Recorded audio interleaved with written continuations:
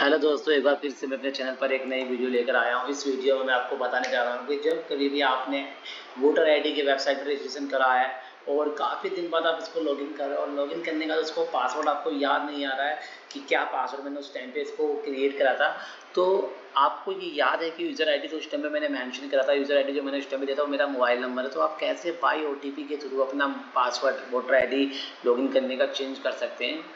तो उस स्टेप्स को मैं आपको अपने बताने जा रहा हूँ इस वीडियो में। प्लीज़ उस ट्रिक्स को आप देखें और अपना यूज़र आईडी पासवर्ड जो भी है आप उसको चेंज करें और लॉगिन करके आप उस पर काम कर सकते हैं। तो आपको करना कुछ नहीं, सबसे पहले अपना गूगल क्रोम ओपन करना है और ओपन करने का लिखना है वोटर आई लॉगिन जैसे ही आप वोटर आई लॉगिन लिखेंगे तो यहाँ पर देखिए वेबसाइट आ जाएगी main website N V S P dot in account login इस पर जैसे ही आप क्लिक करेंगे क्लिक करके यहाँ पर लॉगिन का ऑप्शन आ रहा है।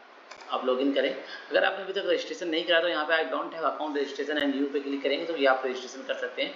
बट मैंने रजिस्ट्रेशन कर रखा, मुझे पासवर्ड भी याद है और मुझे पासवर्ड मैं भूल गया हूँ। तो मुझे मोबाइल नंबर मेरा ये याद है और पासवर्ड याद ये है।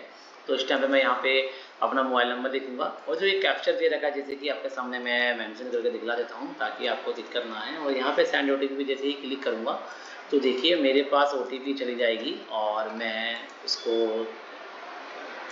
डाल के मेंशन करके पासवर्ड को बदल सकता हूँ। ये देखिए।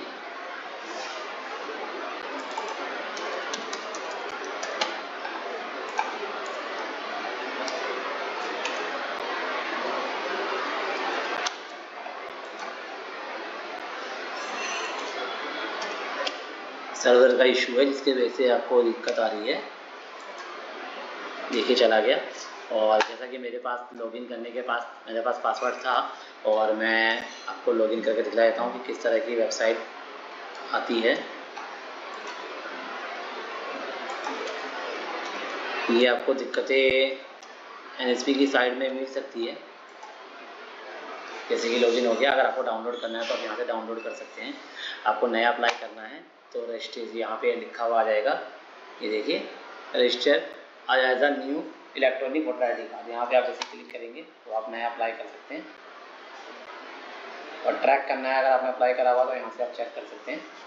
So thanks for watching my video मेरी वीडियो को लाइक करें कमेंट करें शेयर करें और मुझे कमेंट करके ज़रूर